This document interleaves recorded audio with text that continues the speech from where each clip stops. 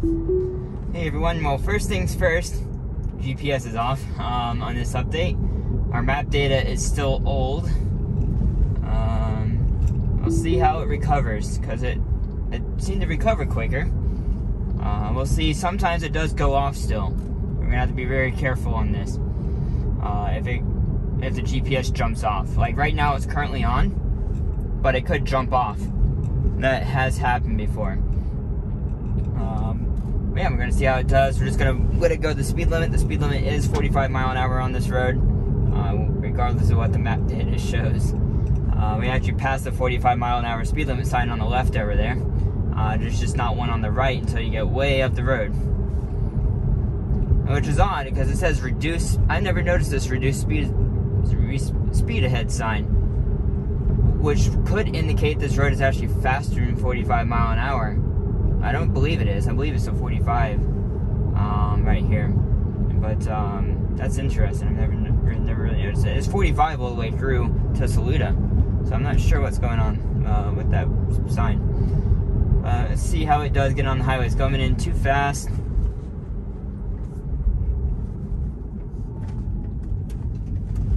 besides almost braking there, that was actually a, a good alignment.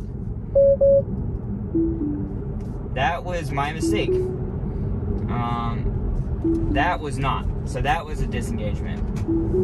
And it keeps on going far too, far too much to the right, um, coming in right here. And so I think we're gonna get a disengagement every time until then. We we've done this drive multiple times with zero disengagements. What is did it reset again? I forgot to turn on that. Um, well, uh, we'll get that turned on after this drive, everyone. Um, but, uh, it looks like I didn't have automatic lane change enabled.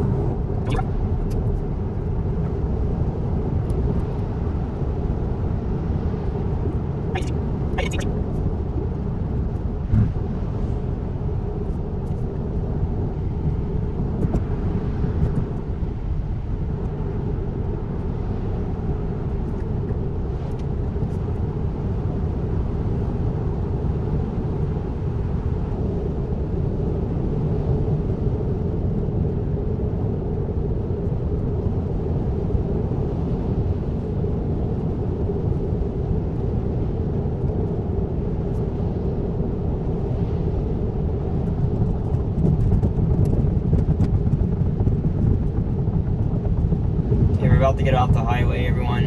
Um, we'll see how it slows down. I'm going to go ahead and slow it down because it should be slowing down at this point. Be back to the speed limit, and then it's going yeah going down to 60 here.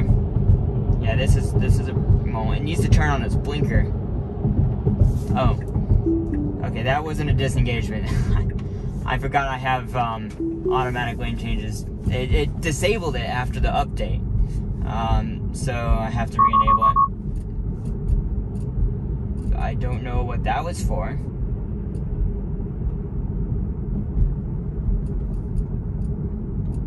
But yeah, it disabled it after the update. It shouldn't matter though for surface streets.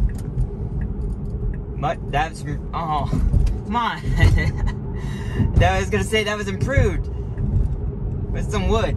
Come on. um, no, seriously, it was like that's what it needs to do. Immediately turn on the blinker and get over, but it didn't. That's improved. Oh, I wonder if they finally did that. It finally responded quicker. We'll find out up ahead if it's going to respond quicker to slowing down. That's going to be a very, very useful thing. It's supposed to be improved with cars cutting out like that. It didn't brake at all, which is exactly what it should be doing. I have a feeling that uh, weather like today is going to give us uh, an advantage because there's no shadows. It's, it's light outside so you can see everything and there's no harsh shadows. So we're gonna have best case scenario today to have good drives. Obviously going on the on-ramp had an issue, but uh, until they slow it down, maybe I'll let it try it one time. Um, but until they slow it down, I think it's gonna have an issue each time. It should start slowing down about now. Which I guess it is. You can see the regen starting to build. I don't think that comes out too well in the video. Uh, but that worked out very well. Let's see how it speeds up here. It's 35, then we're at 45, speeding up. I'm actually gonna up at the 50. It's turning the yellow. I really should have seen that light sooner, to be honest.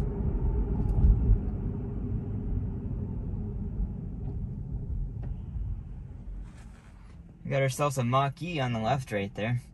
I think that's the first one I've ever seen in Hendersonville. So here's gonna be our test. Fortunately, we have a car in front of us. Um, well, we just actually slow it down ourselves. So it's, it's still not slowing down quick enough. Speed limit is 20 right here. The only reason it's slowing down this vehicle is because of the car in front of us. It's taking an oddly wide turn right here. But much more confident than previous updates.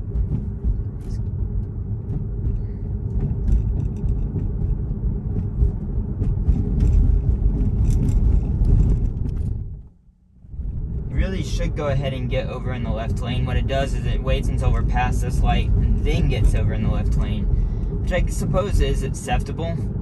Uh, it's still trying to slow for those blinking yellows, and I don't know why. Go ahead and get through this light. I always like to speed up to the speed limit through this intersection here. Uh, see, right here is what turns on the blinker, and there's a car behind us. It's just not a great spot, in my opinion, to um, to change lanes. Yeah, this car, this car didn't like that my car cut them off, so they're passing me now on my left.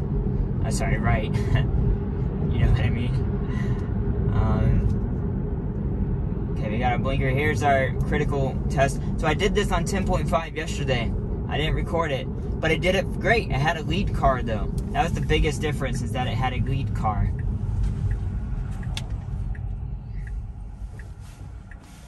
It should not go here. And probably should wait for that truck. Uh, we'll make it go. I'm having to tap it, tap it. There you go. That did it right. That's exactly what it should do. It could be a tiny bit more left if I really had to be critical on it. But that was good. That was, that was exactly what I want to see. Hopefully it does that every single time I'm gonna make a quick pit stop right here and we'll be back on road. Okay, we're back at it, everyone. This is gonna be the last section of this drive. I'm driving to my parents this morning. I'm gonna go knock out this video, get it uploaded so you guys can see it first thing.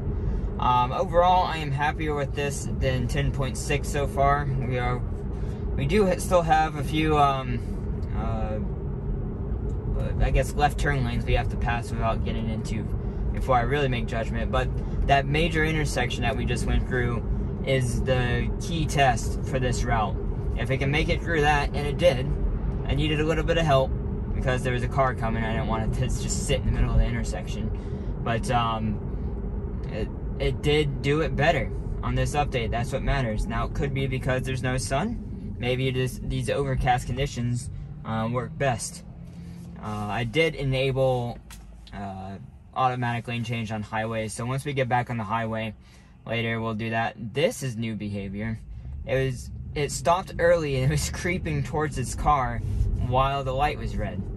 I have never seen that before, and we'll have to see if that does that again.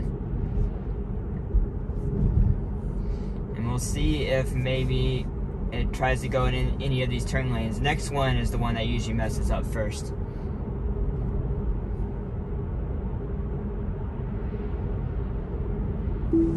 Nope, that was a disengagement. It straight up was going in the turn lane. Unfortunately. We'll see if it does it on the next one. So it does it on that one, it does it on this one coming up here, and it does it on the one right before we get to our turn. And that's just because there's no there's no lane, lane lines at all. Like it goes halfway in and kind of sweeps back out because it can see the line right here it still does rely too heavily on lane to make its decisions. As if there's poor lane lines, it just can't, it just doesn't work well. I do wish uh, were that car so we could see this guy walking across the road uh, and see how the car reacted to him. But, um, different place and time.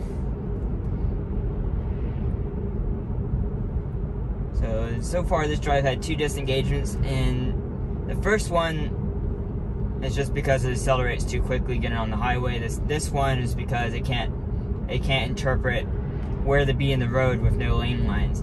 Honestly, it should just default to like right here. Um, it should just default to staying on the right side of the road if it doesn't see lane lines. More often than not, that's what's going to be needed. It needs to stay on the right side of the road if there's no lane lines. And so I don't understand why they can't just program that logic in or like do some training set or something uh, with the neural nets like hey no lane lines on road stay on right side of road. Unless we're in a turn lane in which case way too hard of a brake. Um, good turn but way too hard of a brake. Um, that's gonna be the end of this drive but um, yeah I lost my train of thought because of that brake. uh, but yeah anyways uh, it, it was I, I like this drive better because of that turn than 10.6. Sorry, 10.5. So it's better again than 10.5. The real test is going to be once I go out to Asheville, how much better is it going to be then? And how much better is it going to be? Our next video is going to be Target. Uh, and I'm going to come back down the mountain here. These lane lines right here are just garbage. Uh, you can't can't even see it right up here. And um, and perhaps uh, it will see the lane lines better and do that. So, as a bonus test, let's see how it does this turn and see if this has been improved. That has been improved. It's less robotic-y, but it needs to turn sooner over the yellow lines. If you have any questions for me, everyone, um, put them in the comments down below. I appreciate you watching. I appreciate you keeping up with me. And I hope to see you on the next video. Bye, everyone.